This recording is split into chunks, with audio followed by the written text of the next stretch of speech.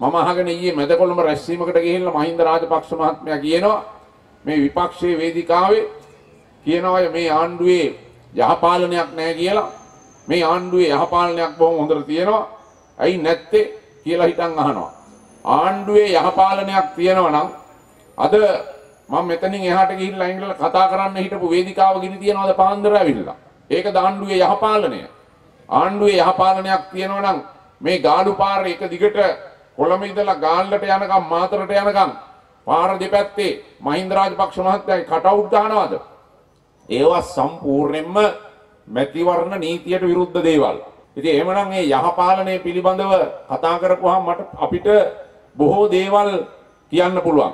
ඒ නිසා තමයි මම මහින්ද රාජපක්ෂ මහත්තයාට විශේෂයෙන්ම ඊයේ එතුමා මැදකොළඹ සිට මේ ආණ්ඩුවේ යහපාලනයක් තියෙනවායි කියලා කියපු නිසා මහින්ද රාජපක්ෂ මහත්මයාට මම ආරාධනා කරනවා ජනවාරි පළවෙනිදා මාත් එක්ක ඉන්න විවෘත විවාදයක් සඳහා ප්‍රජාතන්ත්‍රවාදය සහ යහපාලනය පිළිබඳව මම ලෑස්ති විවාදයක් කරන්නේ. මම අතේ කොළ කෑල්ලක්වත් ඇතුව නෙවෙයි මේ විවාදයට යන්නේ. මම ප්‍රජාතන්ත්‍රවාදය සහ යහපාලනය කියන්නේ කුමක්ද කියලා මම පැහැදිලි කරන්නම්.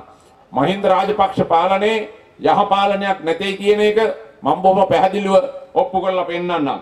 ඒ නිසා අද තමුන්නාසලට කියන්නට ඕනේ එක් පැත්තකින් අපි ආණ්ඩුවේ කටයුතු වලට උත්තර දෙනා වගේම දැන් තමුන්නාසලා දකින්නට ඇති මාධ්‍ය තුල රූපවාහිනී තුල ඊයේ පෙරේදා ඒගොල්ලන්ගේ මැතිවරණ ප්‍රචාරක දැන්වීමක මගේ පරණ කතාවක් දානවා.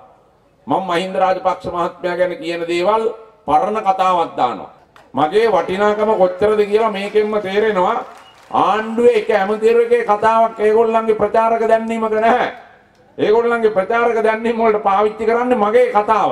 එහෙමනම් මහින්ද රාජපක්ෂ මහත්තයා සහ ඔහුගේ ප්‍රචාරක යාන්ත්‍රණය බංගලොත් වෙච්ච අද තේරුම් අරගෙන තිබෙනවා මෛත්‍රීපාල සිරිසේන හිටියානම් කොච්චර ඒගොල්ලන්ට වටිනවද කියලා හිතන්න. ඒ නිසා තමයි මගේ පරණ කතාවල් දාන්නේ අරගෙන මහින්ද රාජපක්ෂ මහත්තයා වර්ණනා කරනවා. මහින්ද රාජපක්ෂ මහත්තයා වර්ණනා කෙරුවා තමයි එක කාලයක්. ඒ ඒ කාලේ අපි ආණ්ඩුවෙන් එළියට බැස්සේ ආණ්ඩුව ඇතුලේ හුඟක් සටන් කරලා. එතන ඒ කාලේ කිව්වා හැබැයි දැන් ආණ්ඩුවෙන් එළියට බහලා තමයි මහින්ද රාජපක්ෂ පාලනයේ පැහැදිලිම තත්ත්වයේ ජනතාවට අපි පැහැදිලි කරන්නේ. මේ වගේ බොරුකාර, මේ වගේ මංකොල්ල කන, මේ වගේ දූෂිත ආණ්ඩුවක් මේ රටේ ඉතිහාසයේ පහළ වෙලා නැහැ. ඒක මම බොහොම පැහැදිලිව කියන්නට ඕනේ. 47න් පස්සේ මේ රටේ බිහි වෙච්ච ආණ්ඩුව වලින් මහින්ද රාජපක්ෂ පාලනය තමයි අන්ත දූෂිත පාලනය. රාජ්‍ය දේපල, රාජ්‍ය සම්පත් මහ ජනතාවගේ වත්කම් විනාශ කරන තමන්ගේ පවුලේ සුඛ විහරණය සඳහා සැප සම්පත් සඳහා පාවිච්චි කරපු මෙහෙම ආණ්ඩුවක් සහ මෙහෙම පවුලක් මේ රටේ ඉතිහාසයේ ඉඳලා නැහැ. මම හිතන්නේ සිංහල රජ කාලෙවත් එහෙම ඉඳලා නැහැ. ඒ තරම්ම දූෂිත ආණ්ඩුවක් මේක. ඒක නිසා අද තමුන්නාසලට කියන්න ඕනේ අපි මහින්ද රාජපක්ෂ පාලනය ඉවත් කරන්නේ කරුණු ගණනාවක් නිසා. අද තමුන්නාසලගේ පැත්තෙන් ගත්තාම රටේ ජනතාවගේ පැත්තෙන් ගත්තාම තමුන්නාසලා දන්නවා මේ රටේ අද ප්‍රධානම ප්‍රශ්නේ තමයි ජනතාවගේ බඩගින්න. මේ රටේ තුන් වේලක් කාලා කී දෙනෙකුට ඉන්න පුළුවන්ද? දෙවේලක් කන අය කොච්චර ඉන්නවද? මේ රටේ එක වේලක්වත් කන්න බැරි අය ලක්ෂ ගණක් මේ රටේ ඉන්නවා. ජනවාරි 8 වෙනිදා අපි හදන අලුත් ආණ්ඩුව තුළ අපි ප්‍රමුඛතාවය දෙන්නේ මේ රටේ ජනතාවගේ බඩගින්න නිවන්න දුක්ගින්න නිවන්න අඩු වශයෙන් තුන් වේලක් කාලා ඉන්න පුළුවන් විදිහට ආර්ථිකයක් සකස් කරන්නයි ජනතාවට කියන එක මම ඊටාම පැහැදිලිව තමුන්නාන්සලට කියන්නට ඕනේ. මේ ආණ්ඩුව හැම පැත්තෙම පිරිහිලා තියෙන්නේ. දැන් මේ සැරේ මේ ඡන්දෙ ඉල්ලන්නේ තව අවුරුදු 8ක් බලයේ ඉන්න. මේක තමුන්නාන්සලා බොහොම පැහැදිලිව තේරුම් ගත යුතු වෙනවා. මේ බලය ඉල්ලන්නේ මේ සැරේ එයා දිනලා හිටන් අවුරුදු 8ක් බලයේ ඉන්න. තව අවුරුදු දෙකක් එයාට නිල වශයෙන් ඉන්න පුළුවන්. එතකොට මේ සැරේ එයාට ඡන්දෙ දිනන්න පුළුවන් වුණොත් එහෙම එයා දිවුරුම් දෙන්න තව අවුරුදු දෙකක් එහාට ගිහිල්ලා. එතකොට තමුන්නාන්සලා හිතනවද දැන් කලින් අවුරුදු 10ක් දැන් පාලනේ ඉඳලා තව අවුරුදු 8ක් එහාට මේ පාලකයෙකුට ඉන්න දීම තුල මේ රටේ ජනතාවට කොමක්ද සිද්ධ වෙන්නේ? මේ රටට කොමක්ද සිද්ධ වෙන්නේ? ඉතාමත්ම පැහැදිලි ඒගොල්ල කොහොම සිහින මැව්වත් ජනවාරි 8 වෙනිදා පවත්වන ඡන්දයෙන් 9 වෙනිදා උදෑසන වෙන විදියට මහින්ද රාජපක්ෂ පාලනය පරදිනවා පරදිනවා පරදිනවාමයි ඒ ගැන කිසිම සැකයක් තියාගන්න එපා. මුළු රටක් විදිහට අද ජනතා පෙළ ගැස්මක් ඇති වෙලා තිබෙනවා. අද තමුන්නාන්සලාගේ මෙතනින් කතා කරලා මම ඊළඟට යන වේදිකාව පුච්චලා තියෙනවා. ඔන්න යහපාලනේ පේනවනේ යහපාලනේ. හැබැයි අපි කියනවා අපේ වේදිකාව ඔක්කොම පුච්චන්න. ඔක්කොම පුච්චන්න. අපේ වේදිකාව පුච්චන්න පුච්චන්න අපි ප්‍රචාරක රැස්වීම් කරන්න ඕනත් නැහැ. අපේ ඡන්ද ගාන දිනපතා ලක්ෂ ගාණෙන් වැඩි වෙන එක තමයි තියෙන්නේ. එක වේදිකාවක් පුච්චපුවාම අපිට ඡන්ද ලක්ෂයක් වැඩි වෙනවා. ඒක නිසා මහින්ද රාජපක්ෂ මහත්තයාගේ උපදෙස් අනුව මම අද ගාලු දිස්ත්‍රික්කයට එනකොට එයා කියන්නට ඇති ඔය වේදිකාවල් පුච්චනවා කියලා හිතන්න. ඒ නිසා පුච්චන්න, තව පුච්චන්න. අපි ඒවට බය නැහැ. මේ ගාලු පාර හිටන් රට හැමතැනම ගහලා තියෙන කටවුට් මදි හොඳටම කටවුට්. තව කටවුට් ගහන්න. මොකද කටවුට් ගහන්න ගහන්න යාට ඡන්ද නැතුව යනවා. සීගිරි ගලේ නෑ කටවුට්. සමනල කන්දේ කටවුට් නෑ ගහලා. සිංහරාජ වනාන්තරේ නෑ කටවුට් ගහලා. ඒ හැමතැනම කටවුට් ගහන්න කියලා අපි කියන්නේ. එතකොට ඉවරටම ඉවරයි. ඉවරටම ඉවරයි. ඉතින් ඒක නිසා අපි මේ රටක් විදියට තමුන්නාන්සලගේ විශේෂයෙන්ම අපේ ඔබේ මේ උතුම් මාතෘ භූමිය යහපත් රටක් බවට පත් කරන්නයි මේ සියලු උත්සාහයන් සහ කැපවීම කරන්නේ. අද මේ රටේ රාජ්‍ය සේවය අන්ත දූෂිතයි. අද රාජ්‍ය නිලධාරියෙකුට රජයේ සේවකයෙකුට කිසිම රාජකාරියක් කරන්න පුළුවන් කමක් නැහැ. මේ රටේ ඉන්න ලක්ෂ 14න් 12 ලක්ෂ 50000ක් රාජ්‍ය සේවයේ පහළ ශ්‍රේණිවල බරපතල ආර්ථික අමාරුකම් එක්ක ඉන්නේ. ඒ නිසා අපි ඊටාම පැහැදිලිව කියනවා මේ රටේ රාජ්‍ය සේවකින්ට අපේ හදන අලුත් ආණ්ඩුව තුල දිනසීයේ වැඩපිළිවෙල තුල රාජ්‍ය සේවයේ වැටුප් වැඩි කරලා අපක්ෂපාතී රාජ්‍ය සේවයක් සහතික කරනවා මේ රටේ ජනතාවට සේවය කිරීම සඳහා. ඒ වගේම තමයි මේ රටේ අද තමුන්නාන්සලා දන්නවා කර්මාන්ත ශාලාවල පෞද්ගලික අංශේ වැඩ කරන ලක්ෂ 25කට වැඩිය ජනතාවක්. ඒ ජනතාව අන්ත අසරණයි. සමහර අයට පඩිය රුපියල් 10000යි, 15000යි, 20000යි. පවුලක් නඩත්තු කරන්න පුළුවන්ද? තනියෙන් ජීවත් වෙන්න පුළුවන්ද? අපි අපේ අලුත් ආණ්ඩුව තුළ තමුන්නාන්සලා හදන ඊටාම පැහැදිලිව මම කියනවා මේ රටේ පෞද්ගලික අංශයේ සෑම සේවකයෙක්ම අපි විශ්‍රාම වැටුප් ලබන සේවකයින් බවට පත් කරලා ඔවුන්ට යහපත් ආර්ථිකයක් ගොඩනැගීමේ කාර්යය අපි ස්ථීර වශයෙන්ම අපි ඉෂ්ට කරනවා කියන එක. ඒ වගේම තමයි තමුන්නාන්සලා දන්නවද මේ රටේ ත්‍රිවිධ හමුදාව සහ පොලිසිය ත්‍රිවිධ හමුදාවේ විශේෂයෙන්ම තමුන්නාන්සලාට සඳහන් කරන්නට ඕන ත්‍රිවිධ හමුදාවේ පහුගිය අවුරුදු ගණනාවක් තුල වැටුප් වැඩි කිරීමක් කරලා නැහැ. රණවිරෝ කියලා මහා බෝඩ් ගන්නවා. රණවිරු ස්ටාර් කියලා හිටන් ලොකු සංගීත සංදර්ශන දානවා. හැබැයි රණවිරුව කම්කරුව කරලා තියෙන්නේ මේ ආණ්ඩුව. අද රණවිරුව තමයි අරලියක හැමන්දිරියේ පිඟන් හොදන්නේ මම දැකලා තියෙනවා. රණවිරුව තමයි තනකොළ කපන්නේ. රණවිරුව තමයි ගල් කඩන්නේ. රණවිරුව තමයි ගඩොල් කපන්නේ. ඒ රණවිරුවන්ට කරන සැලකිල්ල. ඒ නිසා අපි හදන අලුත් ආණ්ඩුව තුළ මේ රටේ ත්‍රිවිධ හමුදාවේ සියලු සමාජිකයින්ට තමන්ගේ නිලැඳුමේ ගෞරවය තියාගෙන ඒ අයට ඒ නිලැඳුමට අයත් තමන්ගේ වගකීමට තනතුරට අයත් රාජකාරී අරෙන්න වෙන කිසිම රාජකාරියක් ඔවුන්ට පවරන්නේ නැහැ කියන එක මම තමුන්නාන්සලට පැහැදිලිවම කියන්නට ඕනේ. ඊළඟ පොලිස් දෙපාර්තමේන්තුව බලන්න. පොලිසිය අද අන්ත අසරණයි. ඒ අයට අපක්ෂපාතීව තමන්ගේ රාජකාරිය කටයුතු කරන්න පුළුවන් කමක් නැහැ. තනිකර දේශපාලන බලපෑම්. ඒ වගේම තමයි බොහෝ වෙලාවට ත්‍රිවිධ හමුදාවට තියෙන වරප්‍රසාද සහ අයිතිවාසිකම් පොලිසිය රාළහමකින් ඉඳලා දීලා නැහැ. අපි හදන අලුත් ආණ්ඩුව තුල ත්‍රිවිධ හමුදාවේ සියලු සමාජිකින්ට තිබෙන සියලු වරප්‍රසාද අයිතිවාසිකම් මේ අසරණ පොලිසිය රාළහමකින් ඉඳලා පොලිස් දෙපාර්තමේන්තුවේ සෑම කෙනෙකුටම ලබා දෙනවයි කියන එක මම තමුන්නාන්සලට කියන්නට ඕනේ.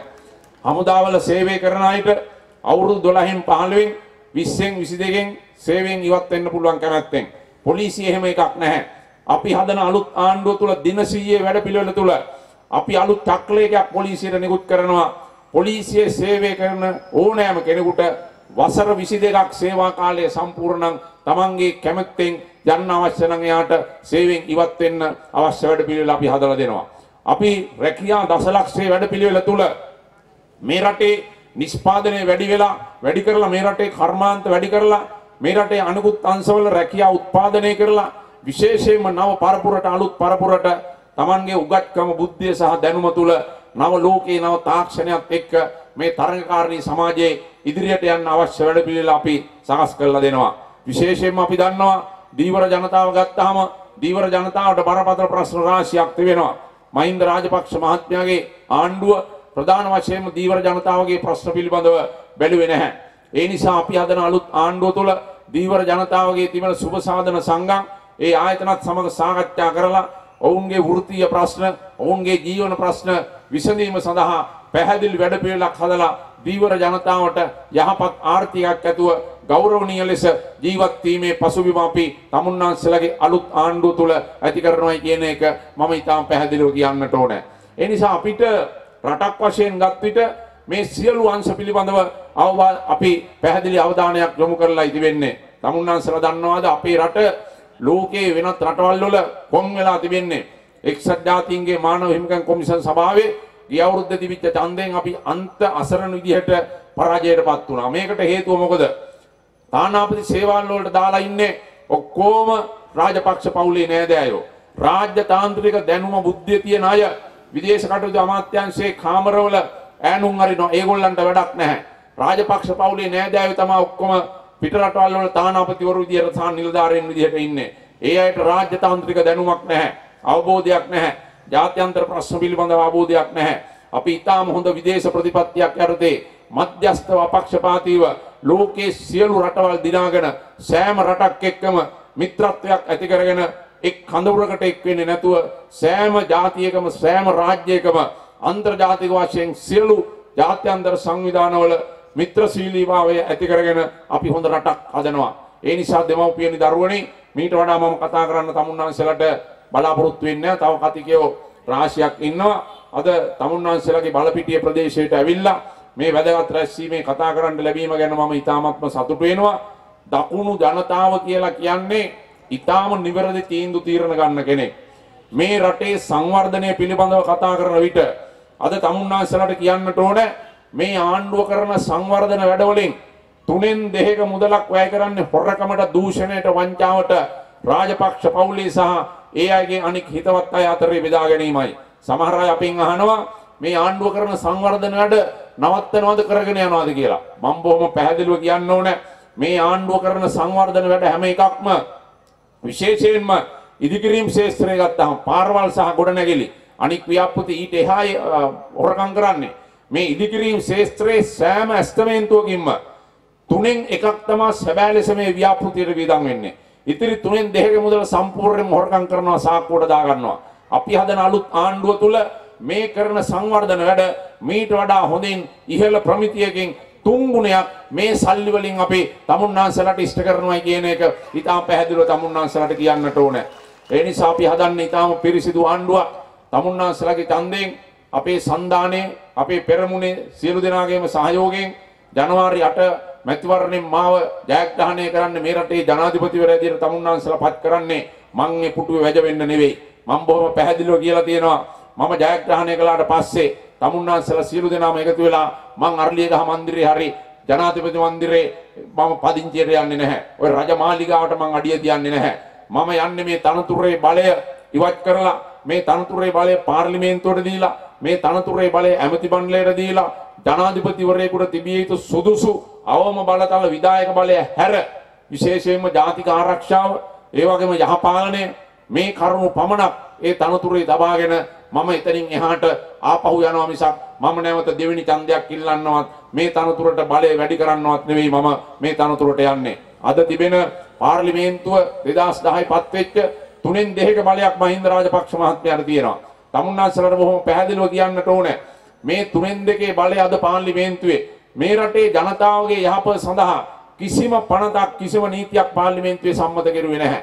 මේ තුනෙන් දෙකේ බලය පාවිච්චි කරුවේ 18 වෙනි සංශෝධනයට විතරයි. ඒ කියන්නේ ජනාධිපතිවරයෙකුට ඉල්ලන්න පුළුවන් නිල කාලය සම්පූර්ණයෙන්ම සීමාව ඉවත් කිරීමටත් 78 ව්‍යවස්ථාවෙන් විධායක ජනාධිපතිවරයෙකුට දුන් බලතල වලට වඩා තව විශාල බලතල රාශියක් මේ තනතුරට ලබා ගැනීමටත් ඒක නිසා මම තමුන්නාන්සලට කියන්න ඕන මම මේ මහ පොළොවේ අඩිය ගහ ගන්න දේශපාලකයෙක් විදිහට තමුන්නාන්සලගේ දේශපාලන නාඩි හඳුරන කෙනෙක් විදිහට තමුන්නාන්සලගේ හෘද ස්පන්දනය හඳුරන කෙනෙක් විදිහට මම යන්නේ මේ රටේ ප්‍රජාතන්ත්‍රවාදී කරන්න මේ රටේ ජනතාවට නිදහස ලබා දෙන්න මේ රටේ දුගීභාවය තුරන් කරලා මේ රටේ අපක්ෂපාතී රාජ්‍ය සේවයක් එක්ක යහපත් දැහැමි සමාජයක් ගොඩනගන්නයි. ඒ සඳහා තමුන්නාන්සලා සියලු දෙනාම ජනවාරි 8 වෙනිදා ඡන්ද පොළට ගිහිල්ලා තමුන්නාන්සලාගේ ඡන්දය හංසයා ලකුණට පාවිච්චි කරන්න කියලා මම ගෞරවයෙන් ඉල්ලා සිටිනවා. තමුන්නාන්සලාට ඡන්ද පොළට ගියාම ජනවාරි 8 වෙනිදා තමුන්නාන්සලාගේ හෘද සාක්ෂියෙන් අහන්න තියෙන එක ප්‍රශ්නයක්. කුමක්ද ඒ ප්‍රශ්නය? මම අද ඡන්දේ පාවිච්චි කරන්නේ රට රකින්නද රට දියුණු කරන්නද එහෙම නැත්නම් රාජපක්ෂ පවුල රකින්නද රාජපක්ෂ පවුල දියුණු කරන්නද කියන එකයි. රට රකින්න රටට ආදරයක් තියෙන හැම කෙනෙක්ම හංසයා ලකුණ ඉස්සරහ තමුන්නාන්සලාගේ ඡන්දය දෙන්න. රාජපක්ෂ පවුල ආරක්ෂා කරන්න ඕනේ අය ඒකාධිපති ආණ්ඩුවක් හදලා තනි පවුලකට රටේ මුළු මහත් ධනය සහ පාලනය දෙන්න ඕනේ අය කැමතිනම් බුලත් කොලියට ගහගත්තට අපිට කමක් නැහැ. ඒ නිසා අද මුළු රට පුරාම තිබෙන නිහඬ රැල්ලක් තමයි ජනතාවගේ පොදු මතයක් බවට පත් වෙලා තිබෙනවා. අංක 1 රටට වෙනසක් අවශ්‍යයි කියන එක. අංක 2 රාජපක්ෂ පාලනය ඉවත් කළ යුතුයි කියන එක. අංක 3 ඒ සියල්ලත් එක්ක උඩට එනවා අංක 3 කියලා මම කිව්වත් ජනතාවගේ නිදහස සහ ප්‍රජාතන්ත්‍රවාදය සාධිත කරලා දුකී බවෙන් තොර සමෘද්ධිමත් රටක් ගොඩ නැගීම. ඒ කාර්යය සඳහා තමුන්නාන්සලා සියලු දෙනාම ඒක රාශී වෙමින් අපි ගෙනියන පුළුල් ජාතික ජයග්‍රාහී වැඩපිළිවෙලට එක්වන්නේ කියන ගෞරවණීය ඉල්ලීම කරමින් තමුන්නාන්සලා සියලු දෙනාටම ජය වේවා කියලා මම තමුන්නාන්සලාගෙන් සමුගන්නවා. සියලු දෙනාටම ස්තුතියි. තෙරුවන් සරණයි.